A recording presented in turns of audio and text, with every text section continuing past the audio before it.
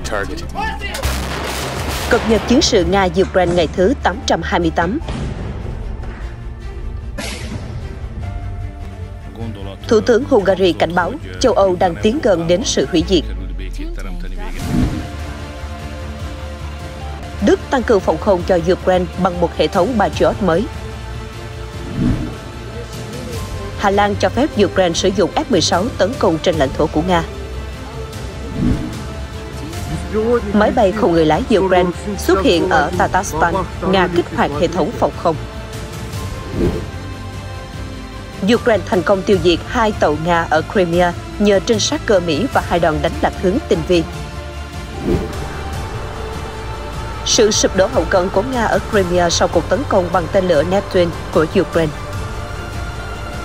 Tất cả sẽ được gửi đến quý vị và các bạn ngay sau đây. Thiên Ý mến chào quý khán thính giả đang xem tin tức trên kênh HTD News. Kính thưa quý vị, Thủ tướng Hungary Viktor Orbán bác bỏ một số đề xuất của NATO cho phép Ukraine sử dụng vũ khí phương Tây để tấn công các mục tiêu ở Nga, nói rằng việc này sẽ khiến châu Âu tiến gần đến sự hủy diệt. Trả lời phỏng vấn trên đài phát thanh nhà nước vào ngày 31 tháng 5, Thủ tướng Orbán cho biết lập trường của Tổng thống Pháp Emmanuel Macron về việc không loại trừ triển khai quân tới Ukraine, cũng như đề xuất của NATO cho phép Kiev tấn công các căn cứ quân sự bên trong Nga bằng vũ khí tầm xa tinh vi do các đối tác phương Tây cung cấp, có nguy cơ đẩy cuộc chiến ở Ukraine thành xung đột toàn cầu. Ông nói, chiến tranh là một con quái vật luôn đói khát, nó phải được cho ăn và phải được nuôi bằng tiền. Và tôi thấy rằng người Mỹ và chính phủ Mỹ cũng như các nhà lãnh đạo của Liên minh châu Âu EU đã sẵn sàng nuôi nó. Theo ông, cứ mỗi tuần trôi qua, NATO lại tiến gần hơn đến cuộc chiến. Thủ tướng Hungary cho rằng việc triển khai phái bộ của NATO ở Ukraine sẽ dẫn tới nguy cơ bùng nổ một cuộc chiến tranh thế giới, thay vì bảo vệ các quốc gia thành viên của liên minh quân sự này. Ông cho hay, thực vô lý khi thay vì bảo vệ chúng tôi, một quốc gia thành viên, thì NATO lại đang kéo chúng tôi vào một cuộc thế chiến. Điều này giống như cố dập tắt đám cháy bằng súng phun lửa. Thủ tướng Orbán lâu nay vẫn luôn phản đối các nước phương Tây cung cấp viện trợ quân sự cho Ukraine và đe dọa sẽ ngăn EU viện trợ cho Kiev, cũng như không thông qua các lệnh trừng phạt chống lại Moscow. Nhà lãnh đạo này đã nhiều lần kêu gọi thành viên liên minh hạn chế can thiệp vào cuộc chiến tại Ukraine, ủng hộ thúc đẩy Kiev và Moscow đàm phán thay vì viện trợ vũ khí cho Ukraine và kéo dài cuộc chiến.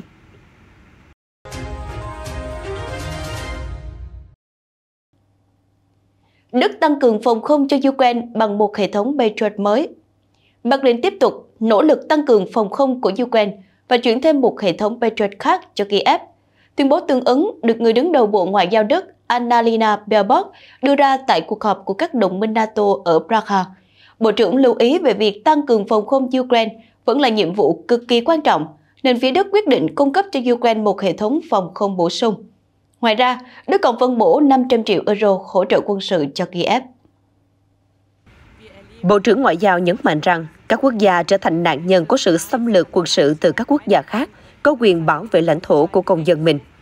Cuộc xâm lược tàn bạo của người cai trị Điện Kremlin Vladimir Putin vào Ukraine và những hành động khiêu khích của ông ta ở biên giới NATO và EU đòi hỏi sự đoàn kết không thể lay chuyển từ phía các đồng minh. Ở một diễn biến liên quan, chính phủ Đức đã cho phép Ukraine sử dụng vũ khí Đức để tấn công trả đũa các mục tiêu ở Nga. Điều này được nêu trong một tuyên bố của người phát ngôn chính phủ Stefan Habastrait, theo GS đưa tin. Tuyên bố cho biết, chúng ta đang nói về việc giải phóng lãnh thổ Ukraine và chúng tôi đã thống nhất với Ukraine rằng vũ khí chúng tôi cung cấp sẽ được sử dụng cho mục đích này phù hợp với luật pháp quốc tế, cùng với các đồng minh thân cận nhất của chúng tôi và đối thoại chặt chẽ với chính phủ Ukraine. Chúng tôi liên tục điều chỉnh sự hỗ trợ của mình theo sự phát triển của chiến tranh. Chính phủ Đức thừa nhận Nga đã tấn công Ukraine trong những tuần gần đây từ các vị trí gần biên giới Nga, đặc biệt là ở tỉnh Kharkov.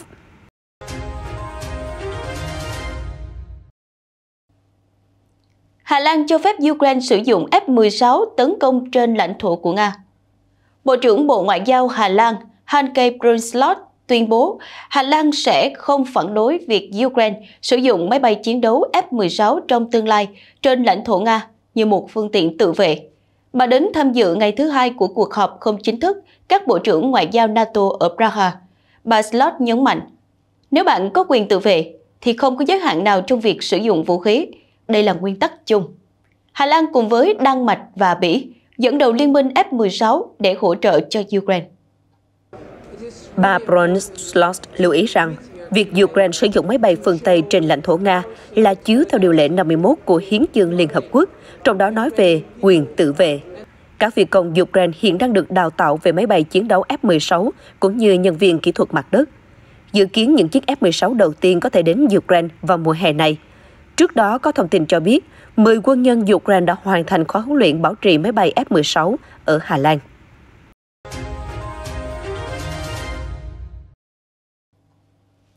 Máy bay không người lái Ukraine xuất hiện ở Tatarstan, Nga kích hoạt hệ thống phòng không. Máy bay không người lái được phát hiện trên lãnh thổ Cộng hòa Tatarstan thuộc Liên bang Nga. Cảnh báo không kích đã được ban hành trên không phận thành phố Kazan vào sáng ngày 31 tháng 5. Truyền thông Nga vào ngày 31 tháng 5 đăng tải một số bức ảnh và video về sự xuất hiện của một số máy bay không người lái trên lãnh thổ nước Cộng hòa Tatarstan. Báo cáo ban đầu cho biết, cảnh báo không kích đã được ban bổ trong thành phố, nhân viên của một số doanh nghiệp trong khu vực đã được sơ tán. Các chuyến bay tại sân bay Kazan và Niskaman đã tạm dừng hoạt động. Cùng ngày, Bộ Quốc phòng của Nga cho biết lực lượng vũ trang Nga đã bắn hạ một máy bay không người lái của Ukraine trên bầu trời Tatarstan. Tuyên bố của Bộ Quốc phòng Nga nêu rõ, các hệ thống phòng không của Nga đã phá hủy một số máy bay không người lái của Ukraine trên lãnh thổ nước Cộng hòa Tatarstan. Cơ quan vận tải hàng không Liên bang Nga cho biết, các hạn chế tạm thời đối với hoạt động của các sân bay Kazan và Nemeskamsk đã được dỡ bỏ vào lúc 8 giờ 30 phút theo giờ Moscow. Nga được cho là đang sản xuất máy bay không người lái cảm tử Shahed ở đặc khu kinh tế Alabuga thuộc Cộng hòa Tatarstan, nằm cách thành phố Kazan khoảng hơn 200 km về phía đông và gần thành phố Nemeskamsk sự xuất hiện của máy bay không người lái Ukraine tại Tatarstan rất có thể là một nỗ lực mới của Kiev nhằm phá hủy các nhà máy sản xuất tại đây. Đây không phải là lần đầu tiên Ukraine thực hiện tấn công Tatarstan bằng UAV. Trước đó, vào đầu tháng 4 năm nay, lực lượng Ukraine đã thực hiện cuộc tập kích vào đặc khu kinh tế Alabuga của Cộng hòa Tatarstan, khiến ít nhất 6 người bị thương. Hôm 23 tháng 5, tình báo quốc phòng Ukraine tiếp tục sử dụng máy bay không người lái, phá hủy cơ sở hạ tầng của tổ hợp công nghiệp quân sự Liên bang Nga ở khu vực này.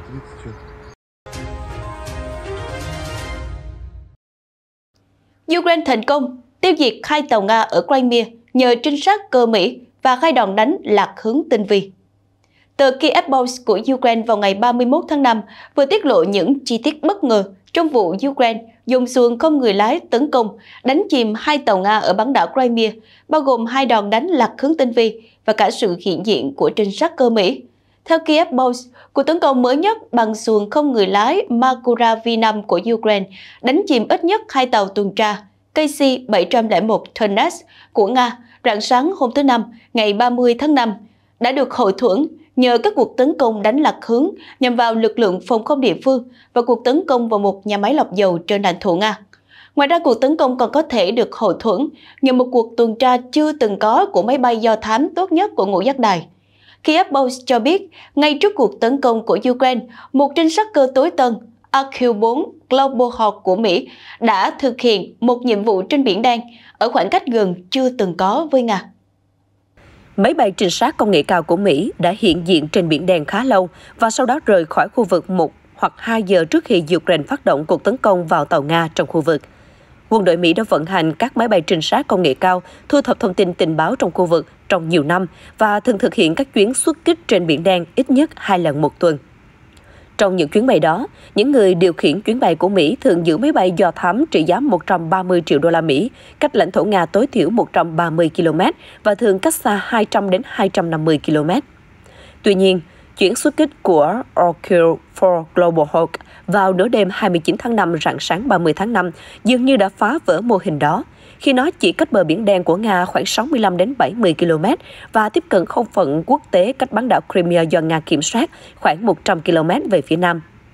Trong một tuyên bố độc quyền do Kiev Post vào sáng sớm thứ Năm, ngày 30 tháng 5, người phát ngôn của Tổng cục Tình báo Quân đội Ukraine AUR tiết lộ lực lượng đặc nhiệm của AUR đã tấn công các cảng ở eo biển Kerch do Nga kiểm soát, đánh chìm ít nhất hai tàu ngầm KC-701 Tunas của Nga theo báo cáo của các phương tiện truyền thông và blogger Nga, Cuộc tập kích bằng xuồng không người lái tự sát của Ukraine vào hạm đội Nga cũng diễn ra cùng thời điểm Ukraine phóng tên lửa ATACMS do Mỹ sản xuất nhắm vào các cơ sở phòng không Nga đang làm nhiệm vụ bảo vệ eo biển Kerch. Radio Liberty đã xác định vị trí địa lý của cuộc tấn công là tại vịnh Yukar ở cảng Chernomorsk. Theo đó, khoảng 20 tiếng nổ đã được nghe thấy trong cuộc tấn công diễn ra vào nửa đêm 29 tháng 5, rạng sáng 30 tháng 5. Một tuyên bố của Bộ Quốc phòng Nga hôm 30 tháng 5 cũng cho biết 8 tên lửa chiến thuật ATACMS của Ukraine đã bị đánh chặn. Tên lửa ATACMS là vũ khí dẫn đường chính xác cực mạnh, có thể mang đầu đạn nặng gần nửa tấn, Mỹ viện trợ cho Ukraine. Trong các cuộc tấn công trước đây của Ukraine, lực lượng phòng không Nga được cho là đã gặp khó khăn khi bắn hạ loại tên lửa này. Về phần mình, quan chức Nga cho biết các cuộc tấn công của Ukraine gần như không hiệu quả, ngoại trừ thiệt hại nhẹ do các mảnh vỡ tên lửa gây ra sau khi các tên lửa ATACMS bị họ đánh chặn thành công. Người đứng đầu cơ quan giao thông vận tải Crimea, ông Nilai Lukashenko cho biết, hai chiếc phà quân dân sự, một chiếc dành cho ô tô và một chiếc dành cho xe lửa đã bị thiệt hại, nhưng cả hai sẽ sớm được sửa chữa. Tuyên bố của ông Lukashenko mâu thuẫn với những gì mà Tổng cục Tình báo quân đội Ukraine công bố. Một đoạn video do HUR công bố cho thấy xuồng không người lái trên biển Magura V5 lao trên mặt nước với tốc độ cực cao, dưới hỏa lực dày đặc của Nga va chạm vào mạng tàu tuần tra lớp Tunas. Theo HUR, các tàu hải quân Nga đã bị đánh trúng trực tiếp và có thể bị hư hỏng nặng hoặc bị phá hủy và chìm. Ngoài ra, thì các chỉ huy phòng không Nga rạng sáng hôm thứ Năm ngày 30 tháng 5 cũng buộc phải vật lộn để ngăn chặn một cuộc tấn công tầm xa bằng máy bay không người lái tự sát của Ukraine nhằm vào một nhà máy lọc dầu ở thành phố Tuashev thuộc tỉnh Krasnodar của Nga. Phương tiện truyền thông xã hội Nga đưa tin ít nhất 5 UAV Ukraine dường như đã tấn công nhà máy lọc dầu Tuapse, gây ra ít nhất một vụ nổ trên mặt đất. Không có báo cáo về thiệt hại đối với nhà máy lọc dầu.